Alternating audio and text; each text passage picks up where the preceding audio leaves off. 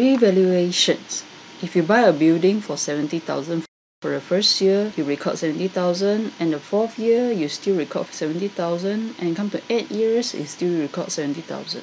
Now the question comes, is the building really worth only 70,000 according to your accounts